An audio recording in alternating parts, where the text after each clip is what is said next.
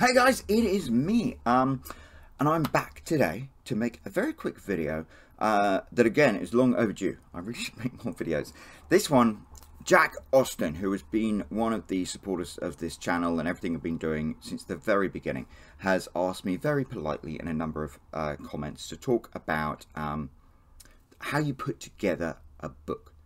Uh, and it is actually a fascinating subject and it, I think I've been putting off making a video about it because there's so much I want to talk about and I almost feel intimidated by it. But um, I just watched Zack Snyder's Justice League on HBO Max and it kind of inspired me because it was so interesting to see what we never normally get to see, which is um, a story that we have already seen because we saw in 2017 the Justice League movie completely reinterpreted in another way with another vision. And it's funny because the 2017 movie wasn't great, and the Zack Snyder Justice uh, League at four hours long, I thought was was really really good. I really enjoyed it.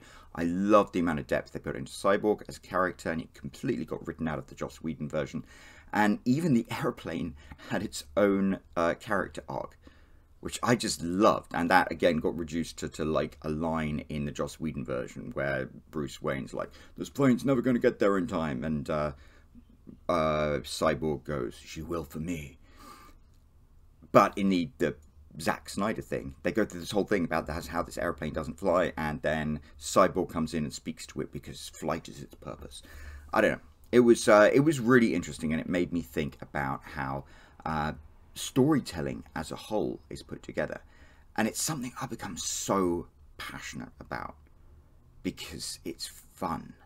It's it's like the best part of being not just a writer of a creative person. You get to, to create your stories in your head and you tell them.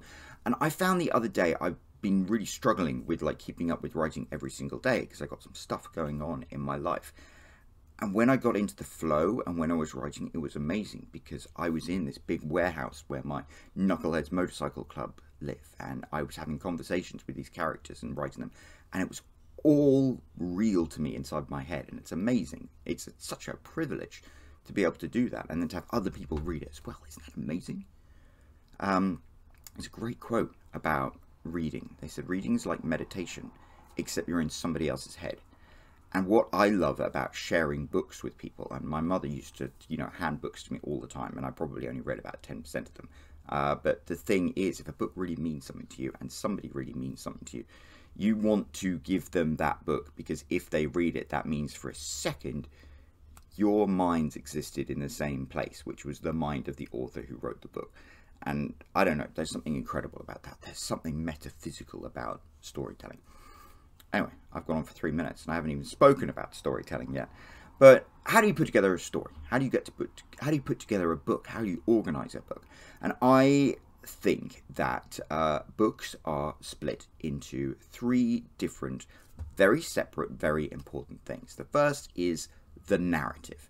The narrative is what happens in your story.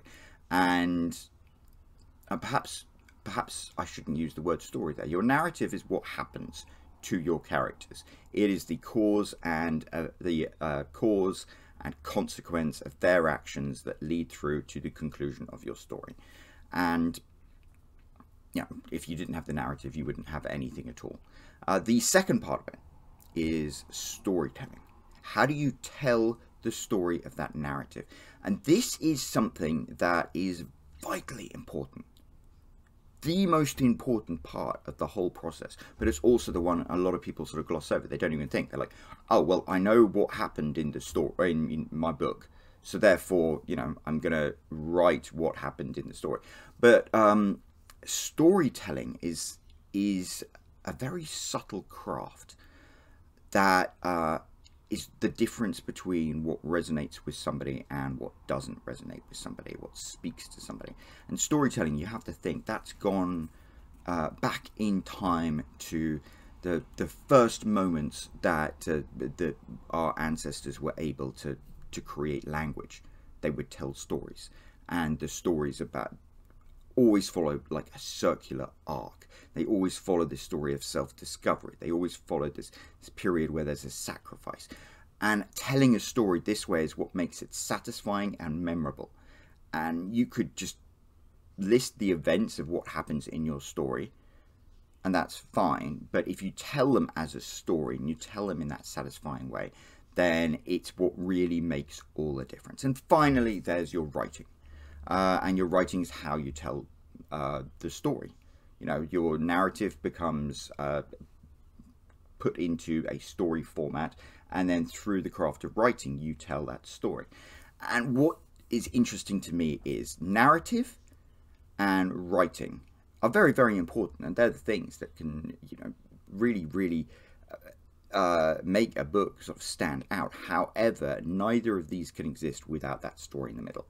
So you can have a book which tells really, really exciting things, but if it's not put together in the, the format of a story, they don't quite resonate with people. And you can have a book that is beautifully written, but if the storyline doesn't resonate with people and have that satisfaction, then it's more like an esoteric exercise in the English language than, than a story. Um, and if you take, you know, a really compelling narrative and really compelling writing and you put them together, that's reporting. Um, and, you know, that's absolutely fine. But it's the story that makes the real difference.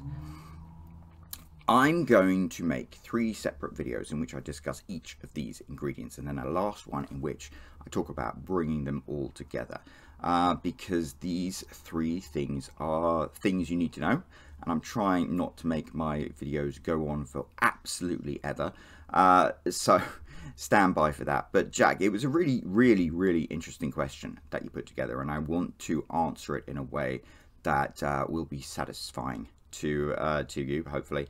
So stay tuned, um, and I look forward to speaking to you again soon. Ciao.